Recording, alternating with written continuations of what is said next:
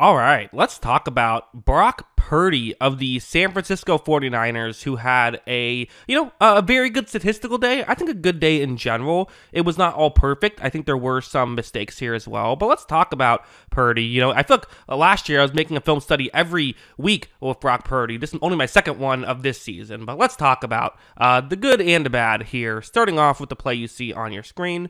This is the good play, and, and something that Purdy has done a lot of uh, in San Francisco. One of his real selling points, I think, for the 49ers. So the way this play is designed to work, it's a third and four, and they have a concept that can work. Kind of these slant routes going to, over the middle are routes that can often work against this coverage, with the deep shot being usually one to just kind of help set things up.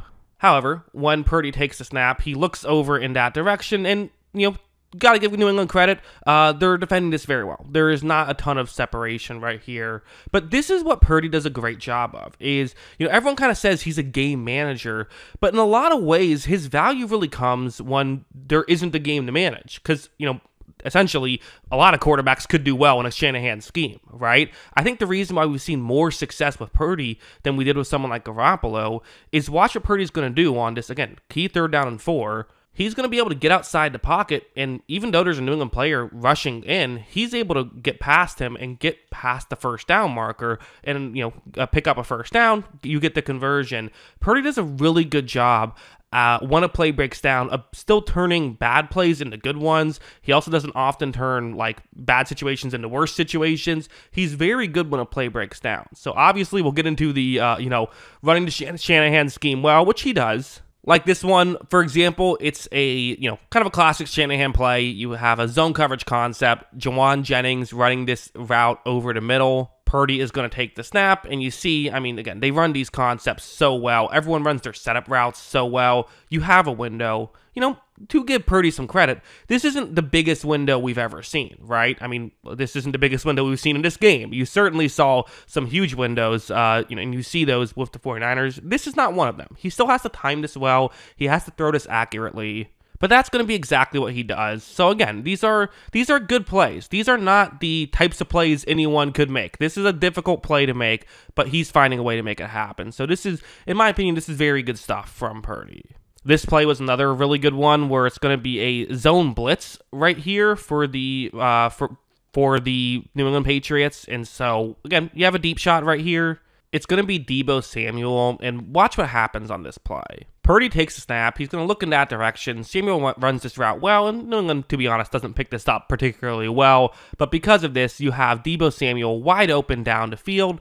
What's the big knock on Purdy, right? There's a lot of uh, very good stuff with Purdy, but kind of the one thing people tend to say is he doesn't have the you know, doesn't have a cannon for an arm, which I think is certainly at times true. I mean, he doesn't have a huge arm. But watch how well thrown this ball still is. It's really accurate, and he gets the ball down the field quick enough that, again, he doesn't need to be Josh Allen to make a throw like this work. He just doesn't. He is someone who can, you know, uh, throw this accurately. And when it comes to deep shots, it's a lot less about being Josh Allen and having the cannon for an arm, and more about being able to accurately throw down the field. And that is exactly what we saw Brock Purdy do on that one.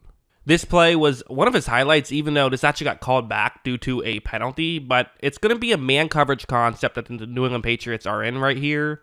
Watch how when this play begins, you're going to see first, Purdy looks down the field, doesn't love what he sees, and there's a very quick pressure. Purdy's in trouble. Watch him first sidestep that pressure and gets outside the pocket. So, okay, so far, so good. The issue another New England player is running over, trying to take Purdy's head off. So, what does he do here? Watch this little pump fake, which causes that defender to move out of position. And at this point, Kyle Juszczyk is open down the field. A different Patriot player has kind of given up his assignment, Jahlani Tavai, who, gotta say, you gotta stay on. You, you have help down the field. You gotta stay on uh, your, you know, the receiver you're supposed to cover. But watch Purdy, while off balance, get this throw over to Juszczyk, which would have been a touchdown. Again, unfortunately, there was a penalty that uh, called it back, but that was a really good play. So, again, this is part of the value of Brock Purdy is he can make these types of plays and pretty consistently too. This play was a fun one where it's going to be a man coverage concept. It's actually a uh, sort of an all-out blitz here on a third down and 10 by the New England Patriots. You have George Kittle running a one-on-one matchup. So, hey, Kittle in a one-on-one matchup, sure. Uh, totally makes sense to fire it in this direction. But watch what happens. This is a weird situation. So Purdy throws it down here, and you know, on paper, there is a window. Ideally, you'd want to get this ball there quickly for this to work. Purdy does not throw it here quickly. In fact, he puts a ton of air under this. I'm not exactly sure why. This is like a hot air balloon throw. But watch how, even though it hangs up in the air for forever, Kittle somehow still manages to make the grab, keeps his feet in bounds, and gets a touchdown on that. Hey, Sometimes it helps to not necessarily throw it, make the best throw, but throw it to the right guy. Really good stuff here by George Kittle to to make that work. So yeah, that was more fun than anything. Definitely a great play by Kittle. Um, you know, I said there were some negatives. Most of this I thought was positive from Purdy.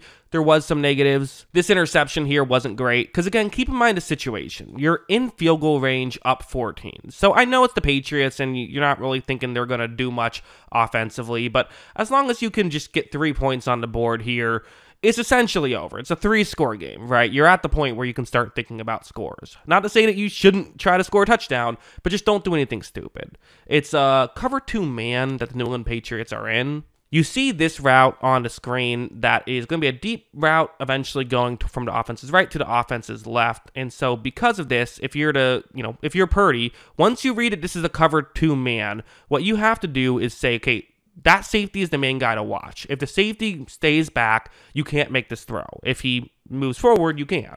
Purdy takes the snap, and you see that when he eventually looks down the field, I think he just didn't see the safety right here because it's not even really that open outside of the safety. But with a safety here, I mean, there would have been a window for this throw to be made for sure.